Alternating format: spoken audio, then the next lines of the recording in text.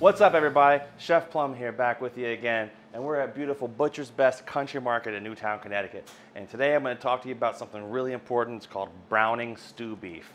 Stew beef is a very tough piece of meat to begin with, and it can generally be cut from any cut, tough piece of meat.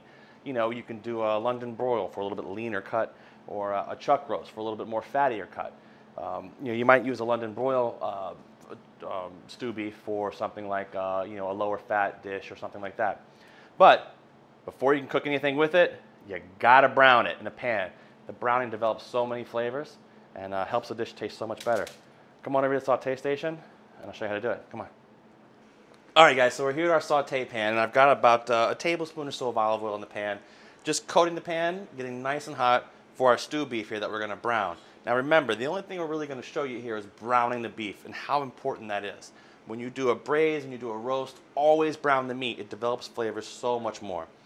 So we're gonna take our stew meat like this, and this is a little uh, chuck roast, I believe.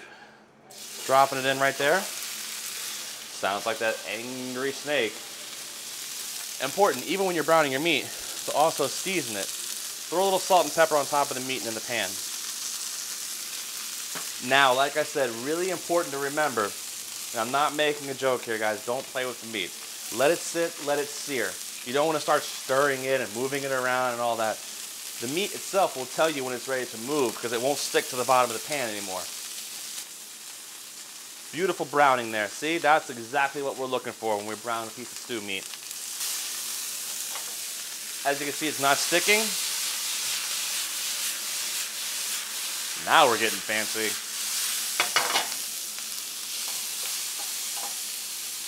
And we're just gonna brown this off. Plain and simple, guys. There couldn't be another more important thing. Season it, brown it, then roast it or braise it. Such an important thing to do. So that's about it. You brown it nicely. As you can see the colors, it's browned all the way around. You don't want that gray kind of tinge to it. You want that nice searing there. It's called the Maillard reaction, actually. It's not caramelization, but that's a whole other video in itself. But that's it. Hot pan. Hot, hot, hot, hot pan. Wisp of smoke coming off. When you drop the meat in, it should sound just like an angry snake. I'm Chef Plum here at Butcher's Best Country Market in Newtown, Connecticut, and that is how you brown stew beef. I'll see you next time.